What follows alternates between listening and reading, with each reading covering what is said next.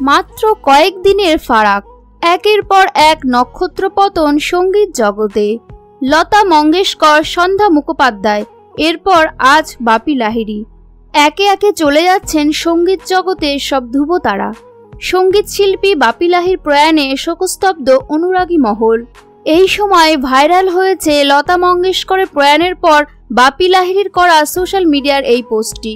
বাপি লাহিড়ি নিজেই লতা মঙ্গেশকরের মৃত্যুতে শোক প্রকাশ করে লিখেছিলেন, তুমি মা সরস্বতী, মা তোমাকে প্রণাম জানাই, তোমার আত্মার শান্তি কামনা করি।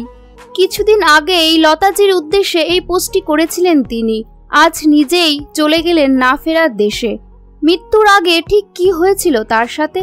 তা জানতে সম্পূর্ণ ভিডিওটি দেখুন আর আমাদের চ্যানেলটিকে সাবস্ক্রাইব করুন।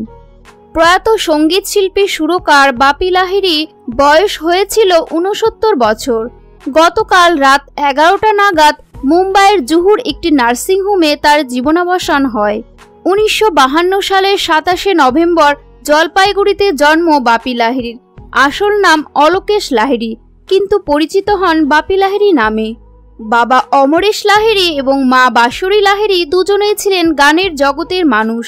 কিশোর কুমার সম্পর্কে বাপি লাহিড়ির মামা ছিলেন। ফলে ছোট থেকে সংগীত পরিবেশে বড় হয়েছিলেন বাপি লাহিড়ি। শুরুটা তিন বছর বয়সে তবলা বাজানো দিয়ে উনিশশো পঁচাত্তর সালে হিন্দি ছবি জখমি দিয়ে কেরিয়ার শুরু করেন বাপি লাহিড়ি। এরপর উনিশশো সত্তর থেকে আশির দশকে হিন্দি ছায়াছবির জগতে জনপ্রিয় হয়ে ওঠেন বাপি লাহিড়ি। একের পর এক সুপারহিট গান উপহার দিয়েছেন ভারতের সঙ্গীতে ডিস্কো কিং।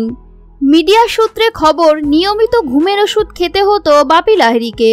তবে গতকাল ভুলবশত বেশি ঘুমের ওষুধ খেয়ে ফেলে মৃত্যুর কোলে ঢলে পড়েন তিনি। তাকে তড়িঘড়ি মুম্বাইয়ের জুহুর একটি নার্সিংহোমে নিয়ে গেলে মারা গেছেন বলে জানায় ডাক্তাররা।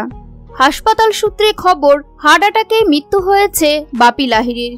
দীর্ঘ কয়েক দশক ধরে অবিস্মরণীয় সুরের জাদুতে শ্রোতাদের মন্ত্রমুগ্ধ করে রেখেছিলেন বাপি লাহিড়ি। আজ তার জীবনাবসানে অপূরণীয় ক্ষতি হলো বলে জানিয়েছেন সঙ্গীতজ্ঞরা।